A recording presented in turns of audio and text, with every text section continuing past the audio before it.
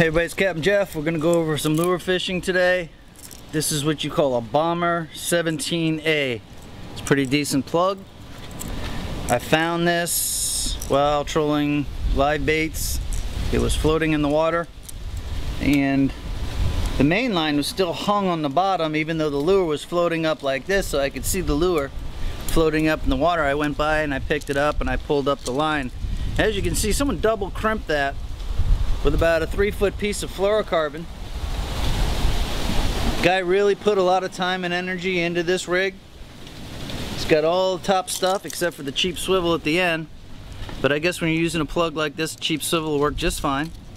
That three foot piece of fluoro. And this lure did a real good job getting caught on the bottom or whatever. If you can see the marks on it, I don't think those are fish marks. I think that's from like oyster beds, maybe a piling or something and that's probably how I got caught on the bottom. I don't know, I'm gonna put this with the rest of the lures I got and uh, that's our plug tip for the week. I don't know, Captain Jeff probably netted like 15 bucks on this. I don't know how much for the lure, crimps, and a piece of fluoro. That's big buck item, probably right off the back of a Merit or something. But that's my score this week on lures. Thanks for tuning in to Captain Jeff. Run that dog with the Bomber Magnum Long A.